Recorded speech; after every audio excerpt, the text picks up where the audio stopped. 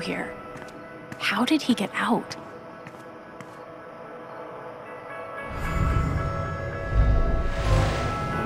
Anne, you okay? I'm sorry to call you at work.